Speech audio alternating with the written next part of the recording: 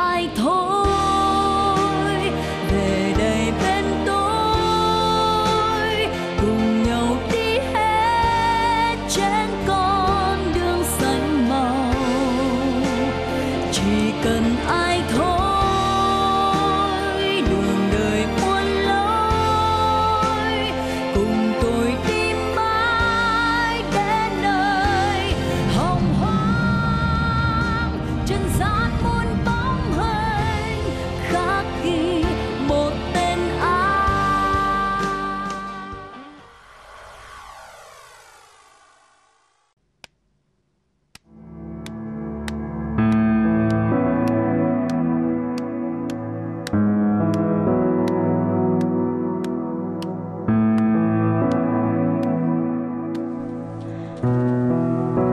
cái mặt chù ụ vậy con. Nó lại về rồi đó. Nó về hồi nào? Thái độ ông già con làm sao?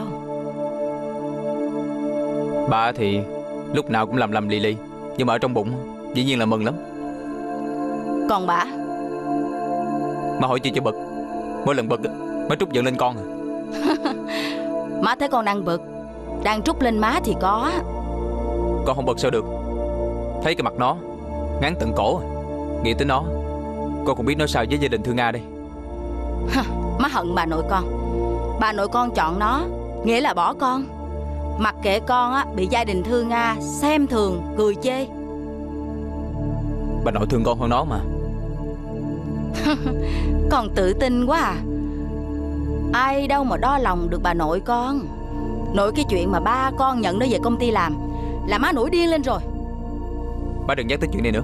Càng nghĩ con càng bực hơn Mà cũng may á Là nó ham chơi hơn ham làm. Cho nên nó mới rút về trại của Năm Đảm Tặng ăn chơi cho sướng. Không rút về sao được? Học hành thì lơm cơm. Nó nghĩ nó làm được gì cho công ty mà không rút? Cái chuyện nó làm được hay không làm được Không có quan trọng bằng cái chuyện Nó có mấy chục phần trăm cổ phần Ở trong công ty. Vậy là con đủ mệt cầm canh rồi. Mấy chục phần trăm? Ở đâu ra vậy má Trời ơi con ơi là con. Nội của con nè Ba con nè. Hai người đó là cổ đông lớn nhất của công ty. Mỗi người chỉ cho nó một nửa thôi. Là ở đó mà ra chứ đâu. Đâu phải Đâu phải chia là chia đâu chứ. Con à Quyền thừa kế của nó Là ngang ngửa với con đó. Thôi đi Chuyện đó xa xôi quá. Chuyện trước mắt nè Trại do hú bị trộm. Má chưa biết đúng không? Ờ hồi nào? Hôm kia. Vậy mà giờ này mới nói. Thì nói cho má nghe chơi thôi chứ Má lo làm chi? Trại của công ty Cao Nguyên Mất trộm Mà sao không lo được? Nói chị vô á Thăm trại tù của năm đảm thôi. Chứ nó mà dám đụng vô trại thì dương hả? Con có biết gì về vụ trộm này phải không Sao con biết được?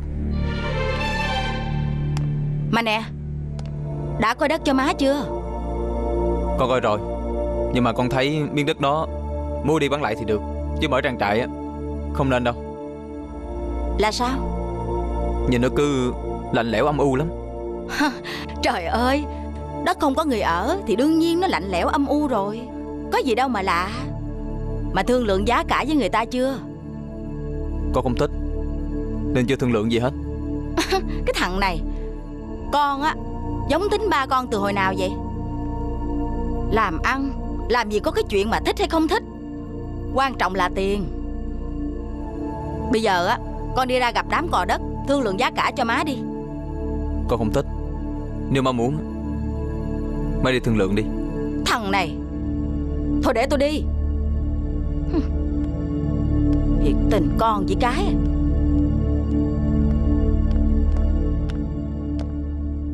Cô Linh có trọng không Dương? Có. Lại đi đâu nữa hả? Tôi lên công ty.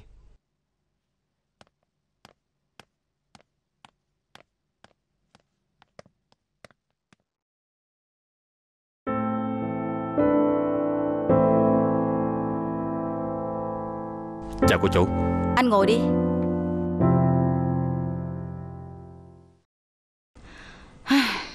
Anh đi xem lại khu đất Mà thằng Dương mới đi coi giùm tôi. Miếng đất đó có giấy tờ đàng hoàng mà cô ba. Ừ, Nhưng mà đất đó của ai? À tôi nghe nói Chủ miếng đất đó Bà con gì với bên Úc Lan thì phải. Trời ơi Đúng là điên mà. Anh suy nghĩ sao mà giới thiệu miếng đất đó cho tôi vậy? Tôi không có muốn cái gì liên quan đến con Úc Lan hết. Thằng Dương á Nó lại càng không muốn hơn. Tôi thấy nó rẻ Mình mua đi bán lại cũng tốt mà cô ba. Mua đi bán lại à Ờ cũng được. Vậy thì hãy tìm cách Dìm giá xuống. Thật là thấp cho tôi. Chuyện này sao cô ba không kêu thằng Dương nó làm đi? Nói rồi. Thằng Dương á Nó còn sợ liên quan cái gì đến con Úc Lan còn hơn tôi nữa kìa. Cái thằng. Coi vậy mà yếu bóng vía. Nó quên được con Úc Lan. Anh phải mừng cho nó chứ. Đừng có mỉa mai. Đời ai cũng mau quên được như nó Đỡ khổ.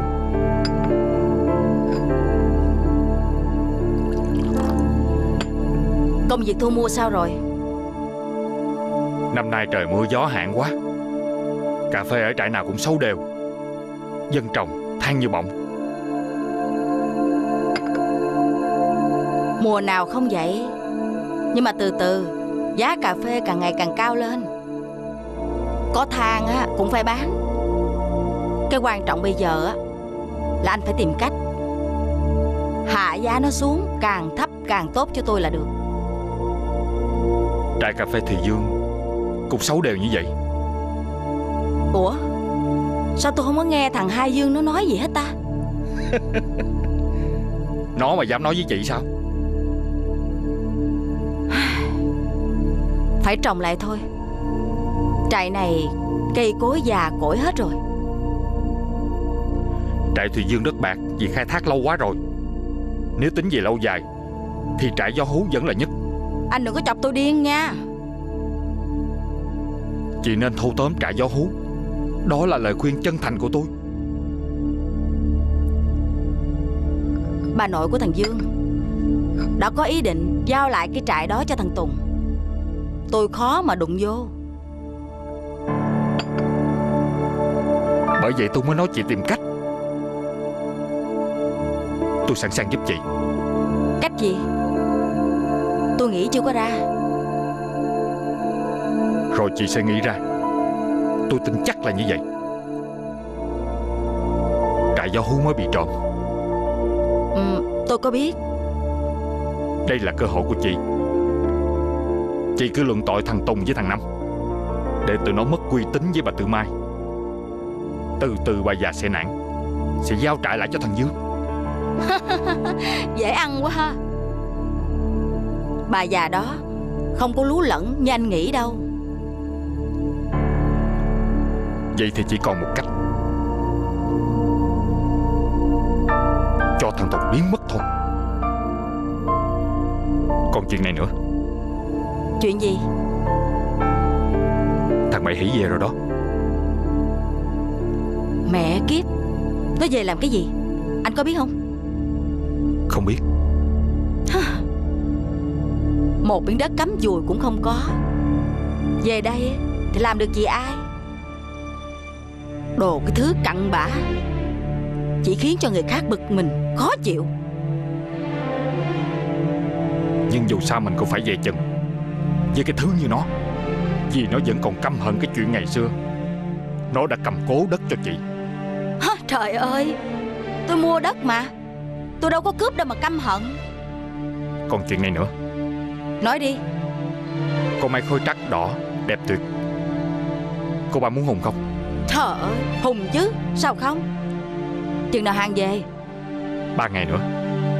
Nhưng tôi nghe tụi nậu nói Đợt này nó không bao vàng kiểm lâm cho mình như mấy lần trước. Thôi Vậy cũng chơi cha người ta rồi. Anh tính sao? Tôi nghĩ nếu lo lót được Thì mình vẫn lời khẩm Mà gỗ của tụi nào vậy? Một thằng nghe nói mới ở bên Lào về Cũng có số má lắm. Tụi nậu làm ăn qua mấy đứa đàn em. Chứ thằng này tôi chưa gặp lần nào. Chà Bí ẩn quá ha. Nhưng mà theo tôi á Cứ để tụi nậu Lo lót đường cho Kiểm Lâm. Như vậy hay hơn Là mình phải xuất hiện. Anh xem thương lượng lại kỹ với tụi nó Mình làm như vậy á Lời ít Nhưng mà nó bền. Tôi biết rồi cô ba. Làm ăn cà phê mấy năm nay Không có lời. Cũng hên á là mình chuyển qua buôn gỗ. Anh cứ theo vậy mà làm vốn liếng tôi lo. Nếu mà mình đánh lớn á Thì mình buôn đất luôn. Chứ đất á Giam vốn dữ lắm Mà không có lời nhiêu mình làm gỗ ngon. Như vậy mà chắc ăn. Tôi biết rồi cô ba. Nhưng mà chuyện này mình phải cẩn thận.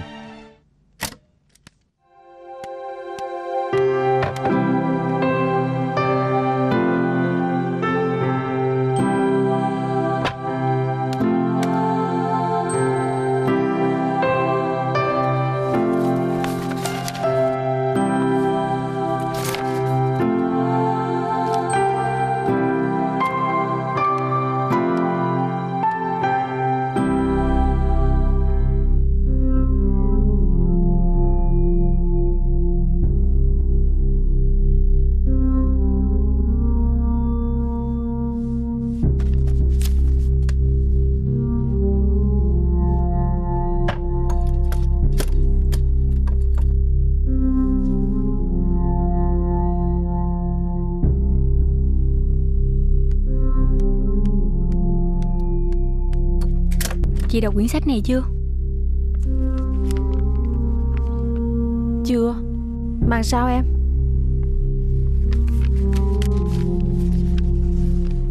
Ba mươi mốt là ngày cuối tháng, Như là ngày bắt đầu cuộc sống mới của chúng mình. T. Chị nghĩ coi, T là ai? Cuốn sách này em lấy ở đâu vậy? Em mượn ở trong phòng sách đó Tủ sách là của chú Thông. Chị không đọc sách nên chị không biết. Không lẽ T là Thông? Là bác Thông hả? Sao em thắc mắc làm gì vậy? Hồi tối á Em đọc xong em để cuốn sách ở trên bàn. Lúc nãy em thấy cuốn sách nằm dưới đất gần cửa sổ. Cánh cửa thì mở tung ra. Cửa sổ phòng em bị hư chốt mà.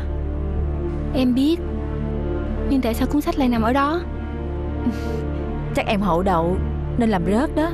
Cuốn sách nặng vậy. Không lẽ rớt mà em không hay chị? Với lại sách em mượn Nên em giữ kỹ lắm. Mà em có bị mất cái gì không? Không có. Em không có gì quý giá hết. Để chị nhờ chú ba Mão Làm cái chốt cửa lại cho em Cho em yên tâm, Được chưa? Chị nghĩ có ai vô phòng em hả? Nhà này đâu phải ai muốn vô là vô đâu em. Nè Em đừng có nói chuyện này cho người khác biết nha. Không khéo mang tiếng hậu đậu. Em về phòng nha. Ừ.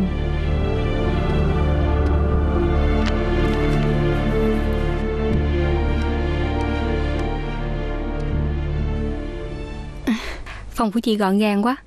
Chị cũng thích hoa khô nữa hả? Ừ. Em về phòng đây.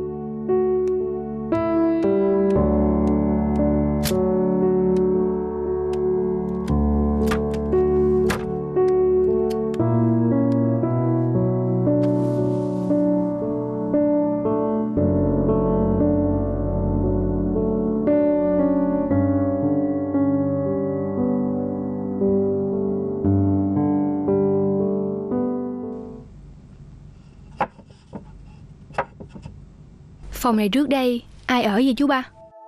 Bà Tư tuyển người ào ào Sao tôi nhớ được? Con thấy bà Tư đâu có khó đâu. Sao người ta cứ vô làm rồi nghỉ hoài vậy chú?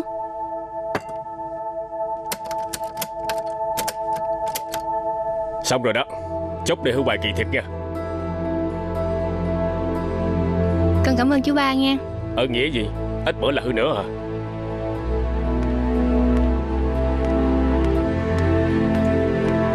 Ít bữa nữa, hư nữa giờ. Là sao trời? Tay nghề gì mà tệ dữ vậy?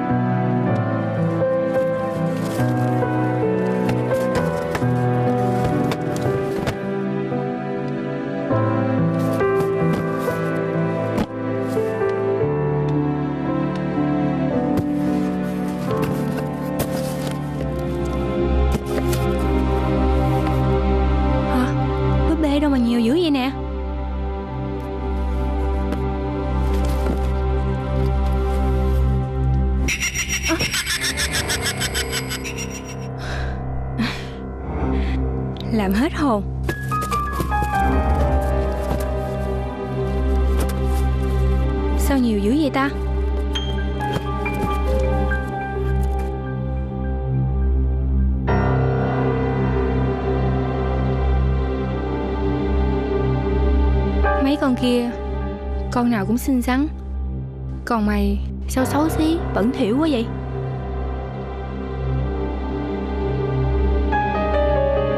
Nhìn mày, Tội nghiệp quá.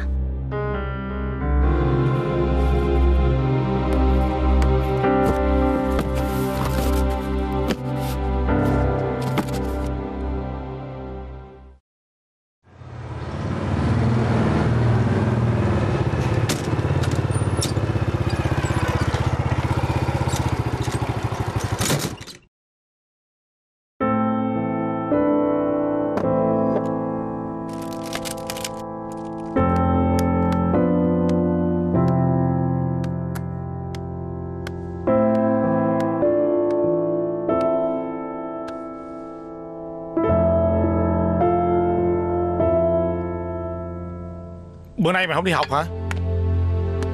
Dạ không.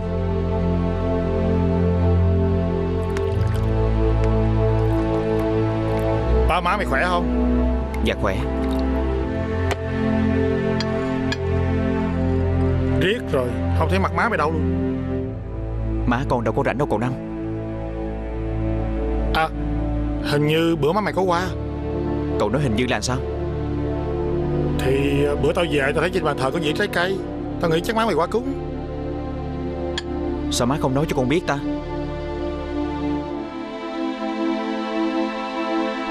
À Cậu có đi thăm cậu Sáu không? Má nhờ cậu gửi cho cậu Sáu. Sao má mày không thử lên thăm nó một lần cho biết? Má con đi được á, là má đi rồi. Má mày bận chứ gì? Câu này tao nghe riết quen rồi. Mòn lỗ tai luôn rồi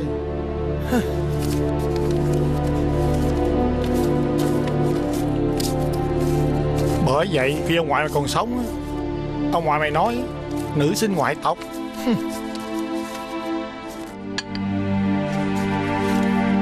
Chừng nào cậu đi thăm cậu Sáu Cậu cho con đi chứ. Lúc đó mày lại nói mày mắc đi học. Thì con nghĩ bữa làm sao đâu cậu? Mày nói đó nha. Dạ Cậu Sáu mày Chắc còn trong đó dài Một mình tao quản cái trại này mà thấy mẹ luôn. Mà sao cậu không cưới vợ đi cho có người lo? Cưới ai vợ Tại cậu kén quá đó thôi. Kén không mẹ gì. Sau vụ đó Con gái xứ này Nó tránh tao như tránh tà vậy đó. Nội đi ngang qua cái nhà này Nó còn né nữa. Nó chi quen Tụi nó đặt tao là cậu 13 Ý nói Tao xui những nhà số 13 này nè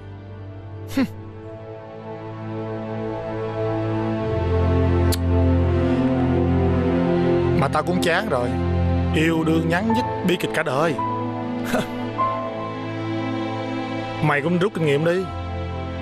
Rút kinh nghiệm gì cậu Năm? Con biết gì con chết liền á. Thì chọc gái Cua treo qua đường Đừng yêu thương. Đó là kinh nghiệm của tao á. Trời đất ơi Kinh nghiệm gì kỳ vậy cậu Năm? Chứ mày thấy cậu sáu mày không Lị gái. Rồi đó. Mà là thảm họa cho cái nhà này luôn. Dạ thôi con về Ừ. Mày ráng học. Má mày có mình mày thôi đó. Dạ Dạ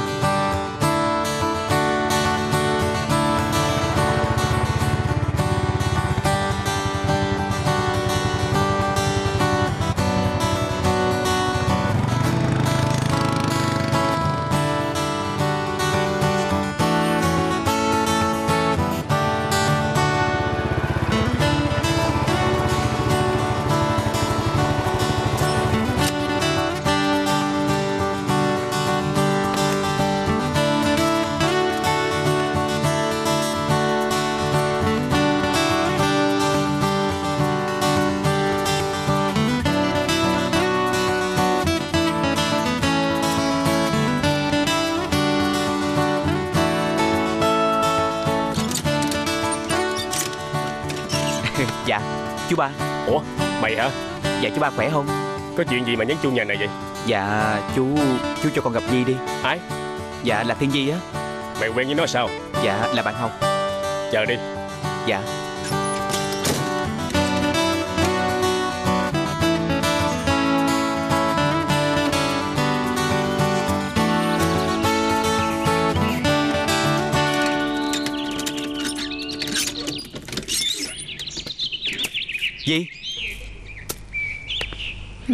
sao?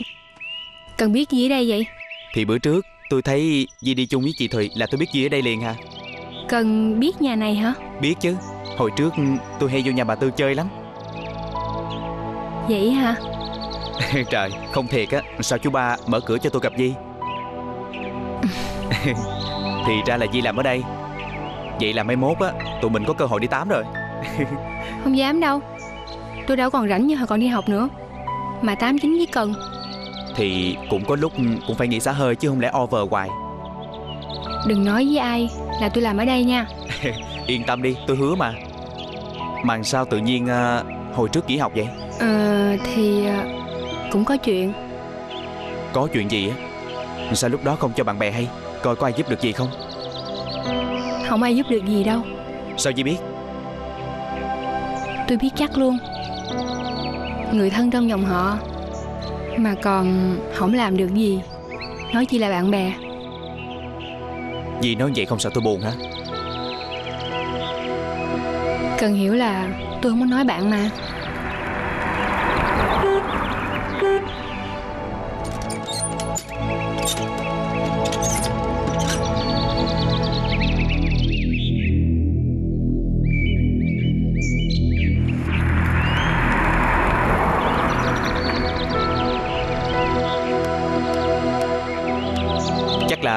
Dương mới đi làm về đúng không?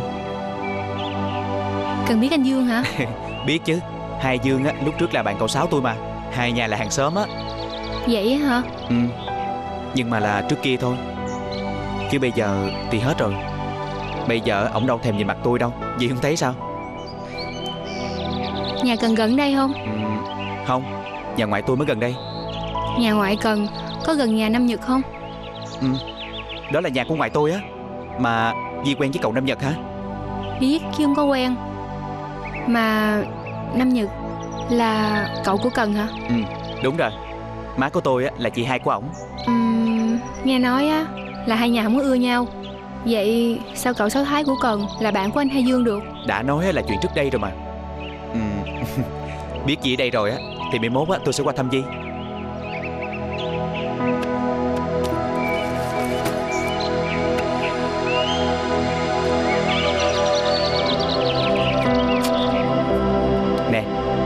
và số điện thoại di động của tôi. Có gì á thì cứ alo cho tôi. Tôi sẽ có mặt liền. Ừ. Thôi tôi về nghe Nhớ có chuyện gì cần thì gọi cho tôi. Nhớ nghe. Có chuyện gì là chuyện gì? Sao cần cứ nhắc đi nhắc lại câu đó hoài vậy? Thì tôi nhắc phòng hờ vậy đó mà. Ừ, Thôi Biết tôi rồi. về nghe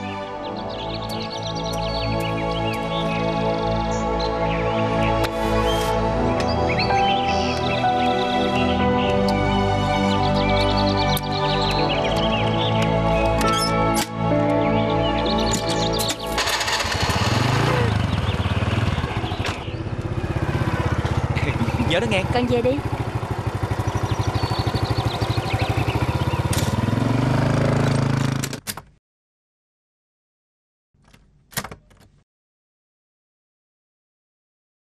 Nội.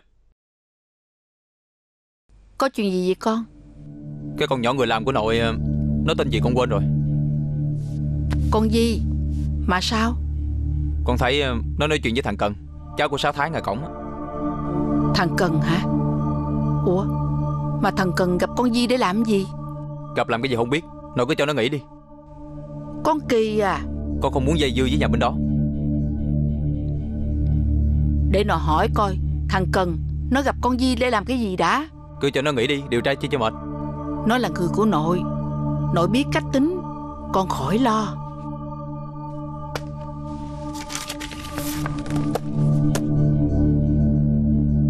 Thưa Nga lúc này sao ừ, Giờ Cũng bình thường nội à?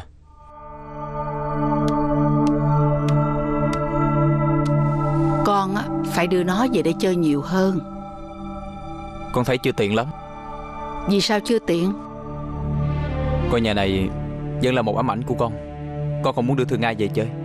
Phải đưa nó về thăm Cho đúng mức con cháu.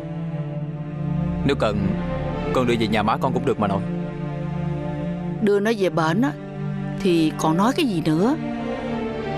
Nội muốn tiếp xúc với nó thường Để coi à, tánh nết của nó ra làm sao. Phải đưa nó về thăm nội. Con chưa quên chuyện cũ Con không muốn. Ai, Khổ chi khổ vậy?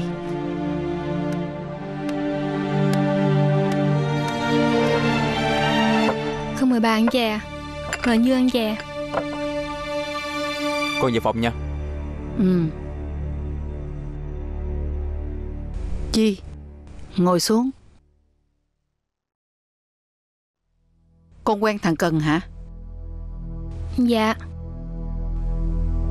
Mới ở đây có mấy ngày Mà đã quen biết Bạn bè Hay thiệt ha. Cần học chung với con Ở Đại học Tây Nguyên. Sao nó biết con ở đây? Con gặp Cần khi đi chợ với chị Thì Con không có nói là con ở đây Mà không biết sao Cần biết mà tìm tới. Nhà ngoại thằng Cần ở gần đây Nó thấy con đi với Thùy Là biết con ở đâu rồi. Mà thằng Cần nó nói gì với con vậy? Cần trách con Sao nghỉ học ngang Mà không liên lạc với bạn bè. Chỉ vậy thôi hả? Con cũng ngại gặp bạn bè cũ lắm Nên là không có nói gì nhiều. Mỗi người có một hoàn cảnh. Bà không cấm con quen bạn bè Nhưng ở đây Thì hạn chế Chừng nào tốt chừng nấy. Dạ con biết rồi. Bây giờ ra giường tưới bông đi. Nhớ cẩn thận Coi chừng dập bông đó. Dạ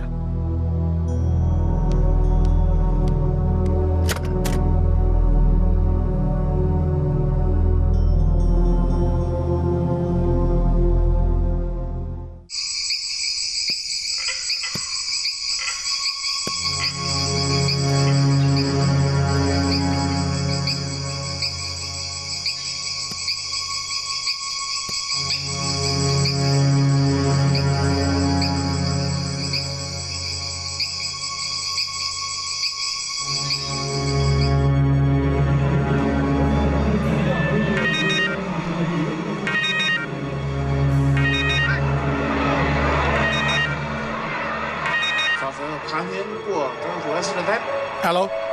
Năm Nhật nghe. Bảy hỷ nè. Chú mày còn nhớ anh không? Ờ nhớ. Ông đang đâu vậy? Đang ở gần đây thôi. Anh muốn gặp chú một chút được không? Có chuyện gì không? Có. Nhưng mà gặp mới nói chuyện được. Chừng nào gặp? Ngay bây giờ. Ngay bây giờ? Gặp ở đâu? Anh đang đứng trước cổng nhà chú mày nè Mẹ. Chửi ai vậy hả mày? Um, Bất ngờ quá. Không chửi cho sao nổi ông nội? Được rồi Tôi đi ra mở cửa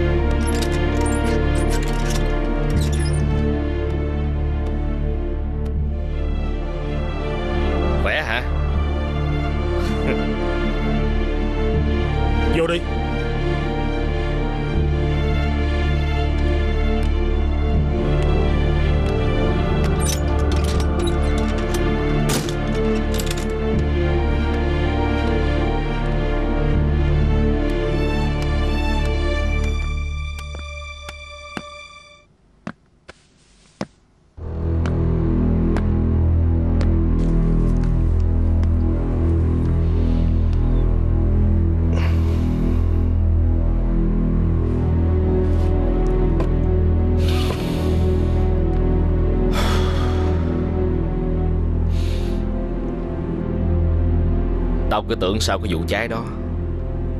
Căn nhà này trở thành tro bụi rồi chứ. Thì gian nhà chính ngoài ngoại Cháy rụi mẹ rồi đó. Nên bây giờ sửa gian phụ này ở đỡ. Như vậy là còn có phúc hơn tao. Tao phải lan bạc kỳ hộ. Lâu nay anh ở đâu? Tao nói rồi. Tao phải lan bạc kỳ hộ. Nhưng mà tao biết hết tất cả mọi chuyện xảy ra ở đây. Mẹ Không ngờ thằng Sáu Thái Lại có thể làm mọi thứ ở đây tan hoang như vậy. Thì cũng phải có lý do Khiến nó làm như vậy chứ.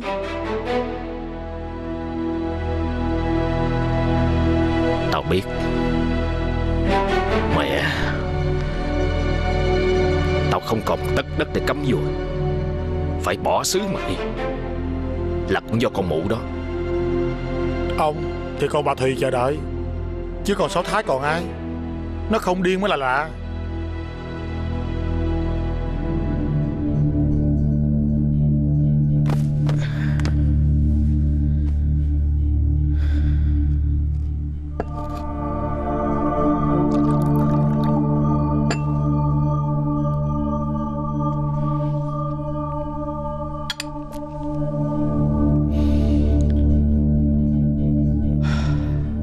Nhà này xuống cấp quá hả? Sau trận cháy đó Không sụm là may rồi. Sao không sửa chữa cho khang trang lại một chút? Dù gì đây cũng là nhà từ đường mà mày.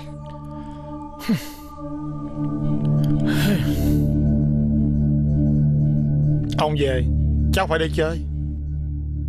Đương nhiên. Công việc làm ăn của mày ổn chứ? Trước kia Cả một nhà cùng gồng gánh công việc Bây giờ còn có mình tôi.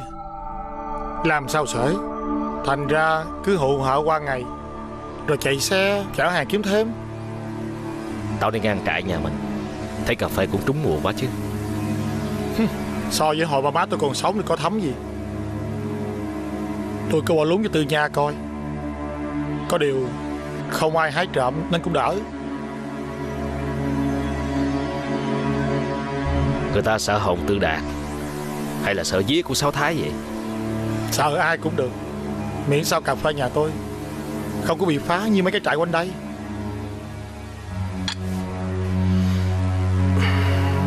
Có Có vậy chứ tin đồn đó Là lợi thế của nhà này đó.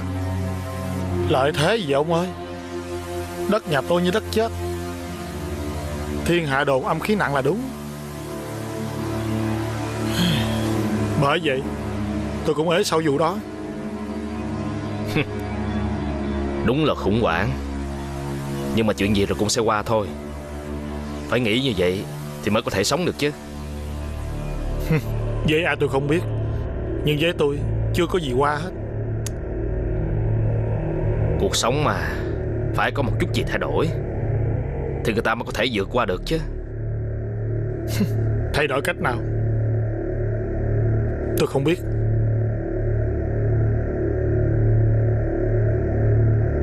Tao có ý là Muốn mướn căn nhà này Để làm kho chứa hàng. Mày thấy sao? Này là nhà từ đường ông ơi. Tất nhiên Tao mướn giải đằng sau. Chứ đây là nhà từ đường Làm sao dám đụng tới?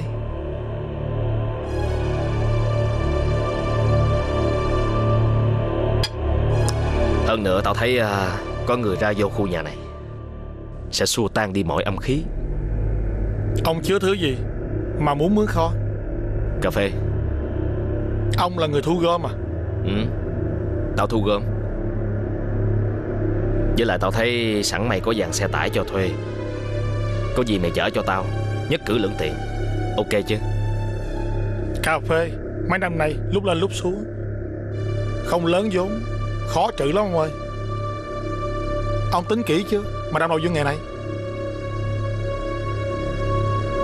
Tao chưa tính kỹ Thì tao sẽ chưa tới gặp mày. Ai không biết là làm cà phê lúc này Là gặp trăm ngàn khó khăn. Nhưng mà nếu gặp thời Mình sẽ giàu to. Thời con mẹ gì? Tôi thấy nhà tôi qua thời đó. Thôi Mày cứ sửa sang nhà cửa đi Rồi làm ăn với tao.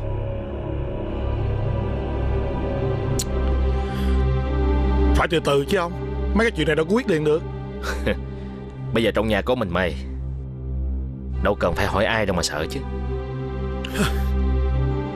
Bà chị hai tôi Đâu có để tôi toàn quyền. Mùa nào bà cũng đòi chia quê lại Mà vợ chồng bà đâu có bỏ công bỏ của cho tôi làm vốn đâu.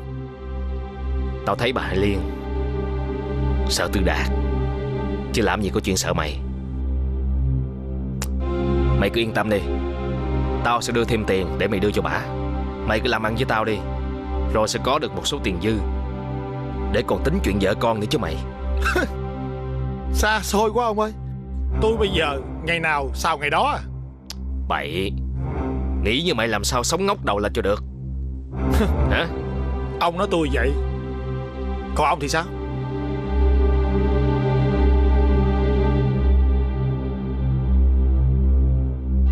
Tao đã có kế hoạch cho chính mình. Mướn nhà tôi làm cái kho Cũng nằm trong kế hoạch của ông à? Mướn kho để chứa hàng Là nằm trong kế hoạch của tao. Nhưng mà nhắm tới nhà mày Là ý của người khác. Ai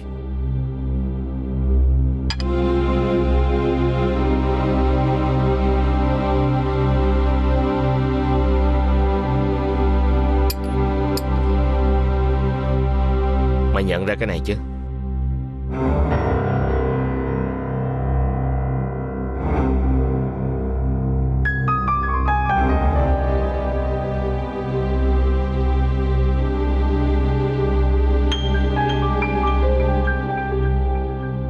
Sao anh có nó? Chủ nó đưa cho tao. Đưa hồi nào? Cũng mới đây thôi Ai nói chủ nào của cái nhẫn này?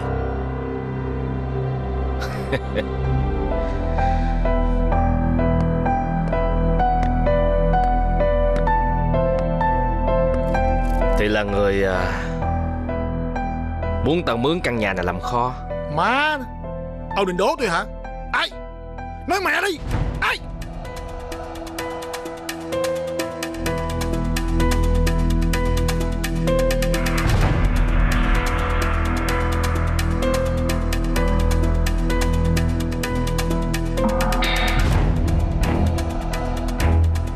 mày muốn nói chuyện trực tiếp hả? Ok.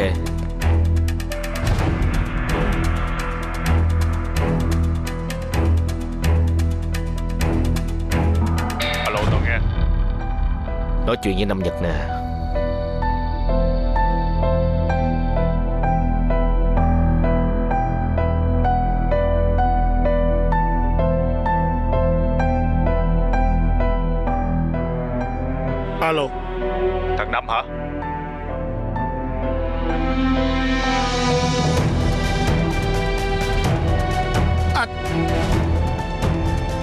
Anh Mày nhận ra giọng anh rồi phải không? Anh mới ở Lào về.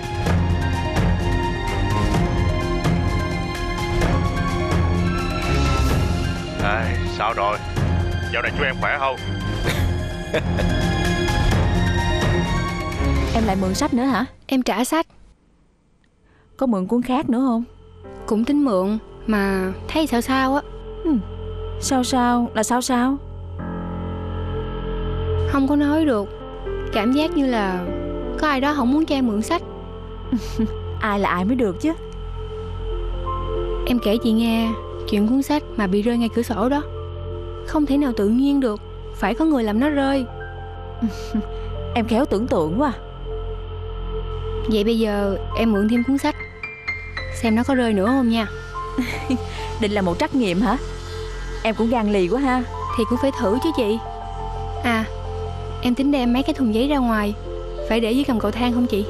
Ừ đem ra để dưới gầm cầu thang đi. Dạ. chỉ